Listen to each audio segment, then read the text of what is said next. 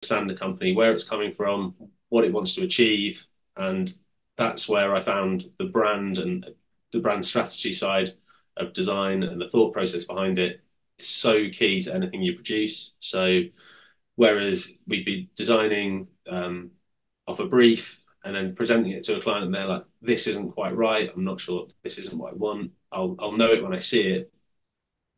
If you go back a few steps and have those conversations about what they actually want to achieve from the outset, that's where it's a lot clearer for a designer to make those decisions based on those those outcomes that are required um, before having to go through iterations and iterations where maybe the initial concept of the design is eventually lost and watered down to sort of insignificant. So yeah, brand strategy and design has to be at the key and the starting point, I think, for for most designs, uh, if not all designs.